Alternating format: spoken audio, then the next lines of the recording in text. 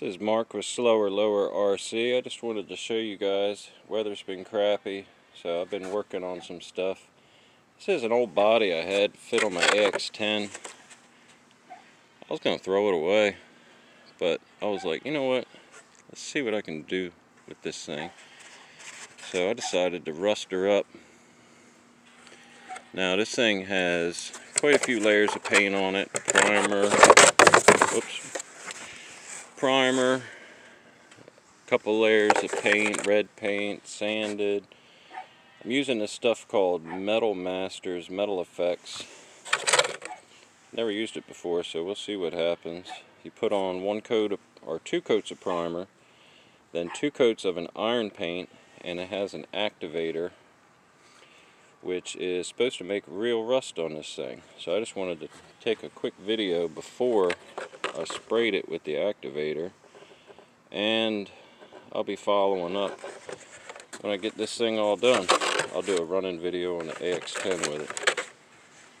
So I just wanted you guys to see it before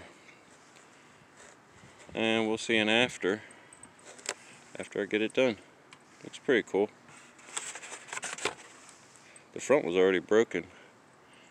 So I figured I'd just throw some rust around it. A few dents in it. Alright, I'm going to spray this thing down, see what it looks like.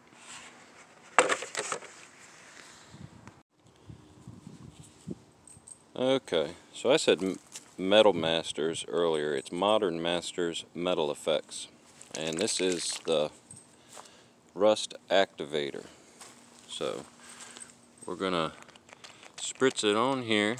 Try to. It says spritz it on. Let it sit and then spritz it on again.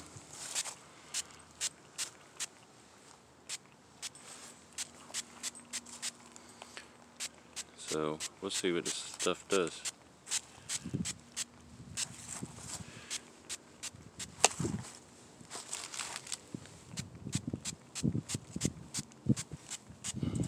It says you may have to spray it more than once. See.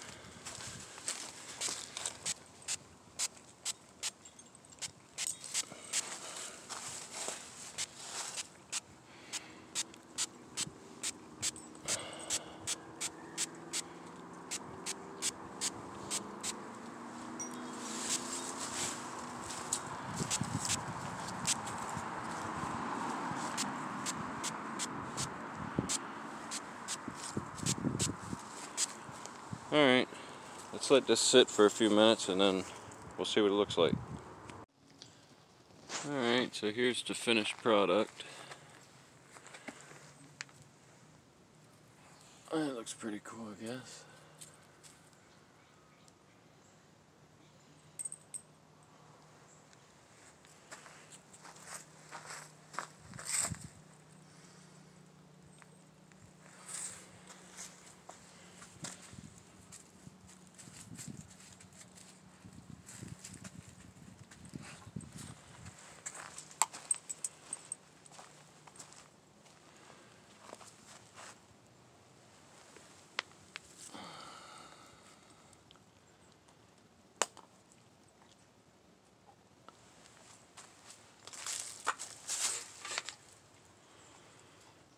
See that rust in there on the fender?